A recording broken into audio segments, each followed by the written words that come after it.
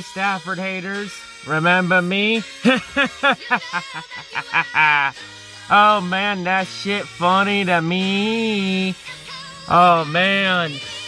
Well, 13 years of trying, 13 years of frustration, and it finally happened. Matt Stafford has finally won his first playoff game. And with that playoff win, he also exposes the Arizona Fraudinals for being the absolute frauds that we already knew they were. But yeah, yeah, remember when There Goes Moby said that the Arizona Cardinals were a competent organization? Because I feel like I do. Like, goddamn, like, There Goes Moby did not do his research well. Like, we all know the Cardinals were not even that. Because last I checked, competent organizations don't shit the bed in the playoffs when it matters the most. Arizona did not fucking belong here.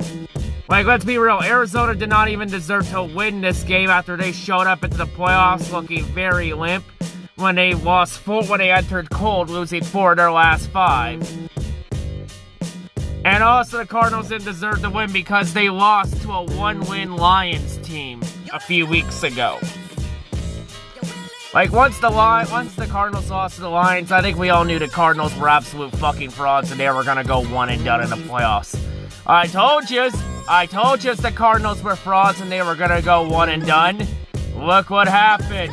And look who was the one that delivered the death blow to Staff to him. Matt Stafford. Because the last 12, 13 years, I've had to hear the goddamn excuses about how Stafford, or, or as the haters called him, Staff was a bub, couldn't win shit. Anyone that was defending Stafford was just making excuses for him and that they don't know shit. So, yeah, I was told I didn't know shit. Well, look what happened because in one year, Stafford did something in one year he failed to do in 12 years with the Lions win a division title and win a playoff game. And guess what? The Lions organization and the Stafford haters, they gotta wake up in the morning, tomorrow morning that is, and they gotta realize that they just wasted 12 years of this man's fucking career. And the reason they did was because the Lions front office failed to put a complete team around Stafford for 12 years. Because the last 12 years, Stafford was never holding the Lions organization back. The st- organization was holding Stafford back. It was the other way around. And it's crazy that in one year, the Rams also did something with Stafford that the Lions failed to do in 12. Put a complete team around Stafford. And it's crazy how what happens when you actually put a complete team around your franchise quarterback. They succeed and they actually get the job done. And they actually show up and perform when it matters the most. Funny how that works. So, yeah. And also, I put this in perspective here. Now, in the last 25 years that the Lions have had a quarterback not named Matthew Stafford, the Lions' record in that 25 year span has been 54, 144, and 1. But yeah, keep pretending that Matt Stafford was the fucking problem. Keep pretending it. I'll expose every fucking last one he is. Till the end of time. But yeah. But I'll say this for There Goes Moby. If the Cardinals were a competent organization, they should fire Cliff Kingsbury right now. Because Cliff Kingsbury has proven that he cannot win and perform when it matters the most since he is now 0-7 in playoff clinching games, including games, including the playoffs. This, like I said in the pre- like I said in the preview, the Cardinals, the Car- Kingsbury couldn't win and per- show win and perform when it matters the most. What made you fucking think was going to happen in the playoffs? It didn't. Kingsbury is a choke artist. There's a reason why everyone now calls him Cliff Chokesberry because he chokes when it matters the absolute most. And tonight proved it because the Cardinals shit the bed royally. You know how the Cardinals were supposed to be a great road team, you know, going 8 and 1 on the road this year and an opening on the road in the playoffs? Yeah, Matt Stafford doesn't give a fuck about that. And he shut that shit down, no exceptions. So, yeah. And keep in mind, the Cardinals' one road loss this year in the regular season came at the hand of a one win Lions team. The Lions were the 1 in 8 and 1. At least there was some positivity there. So yeah, so yeah, the Lions started exposing the Cardinals for being absolute frauds, and Matt Stafford put the final death blow in the Cardinals and ended their season. Stafford was the final nail in the Cardinals' coffin. So the Cardinals are now the Fraudinals. And also, there goes Moby. If you actually did your research on the Cardinals, you would know that the Cardinals are actually the mathematic worst team in the league all time. Hell, for fuck's sakes, the Cardinals have the worst alt win percentage in the league by, by all the nods to Lombardi list teams all time. But yeah, I guess being the mathematic worst team in the league and Kingsbury being 0-7 in playoff clinching games including the playoffs, nope, according that nope, that don't matter to Moby. Because according to There Goes Moby, that's enough to make you the most competent organization in the NFL, and anyone that says otherwise is a dumbass and doesn't know shit. But you know what? It's probably not Moby's fault he thinks that way. Moby has a god complex, so he can never admit when he's wrong. But hey, at least with me taking a screenshot of his post there, at least now There Goes Moby has no way out of admitting he was wrong. And has no way out of, of squealing out of, of swarming his way out of this one. That sorry Moby, this time the jig is up. So you may as well come clean and actually and actually take the L like a man.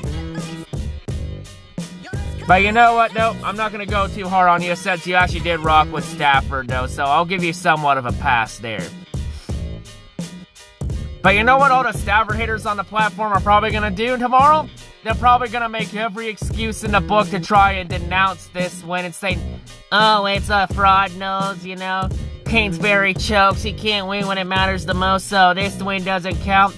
Like all the Stafford haters have done since Stafford was that started succeeding with the Rams, all they've done is move the goalpost. To be like, oh, that's not enough, it has to be this. And you know what, with that it's gonna be, oh no, that's not enough, it's gonna be this. So they're gonna continue to move the goalpost until Stafford wins the Super Bowl. You know, maybe, but you know, what, when Stafford wins the Super Bowl, then that will be the official funeral for every Staff Matt Stafford Lions hate fan. Every Matt Stafford lot hater in the Lions fan base, that will be their funeral right there. But yeah, Stafford exposes the fraud nose and the Rams win 34 11. Now next week, Matt Stafford gets to have the ultimate dream matchup. Because next week, Stafford gets to face the GOAT Tom Brady and the Tampa Bay Buccaneers in the divisional round. A dream matchup I think a lot of fans have been waiting for. Stafford versus the GOAT. And I'll say this to the Matt Stafford haters. If Matt Stafford goes on and beats the GOAT in the playoffs, then you all automatically deserve to give Stafford an official apology for how you treated him like absolute trash and absolute shit for 12 years. At least Rams fan Rams fans appreciate Stafford and for who he is, unlike the Lions fans who stabbed Stafford in the back the last 12 years any chance they got. So yeah, and I bet you if the Stafforders don't make excuses, then they're all probably gonna go ghost. And just try and hope this shit blows over. But yeah, Stafford gets that first playoff win. Long time coming, but it finally happened. How it fucking will ya? But yeah, to all the Stafford haters that are about to make excuses about this, I'm about to enjoy all the excuses they make because their excuses, the haters' excuses, that shit funny to me. Ha ha ha ha ha. See ya. Give me the jacket. Give me, give me the fucking jacket. Fucking useless sack of shit. Get out. Get out! Sell a million records and we're making the deck.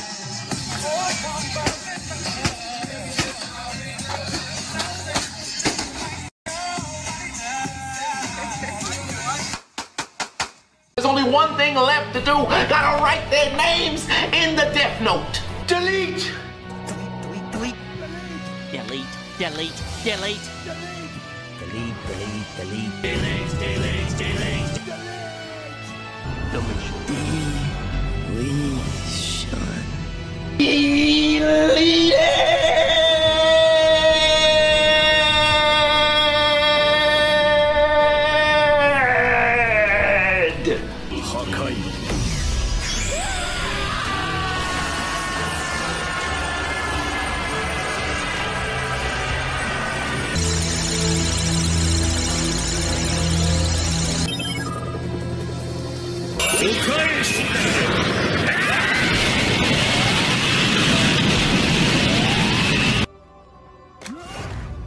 You will rest in peace.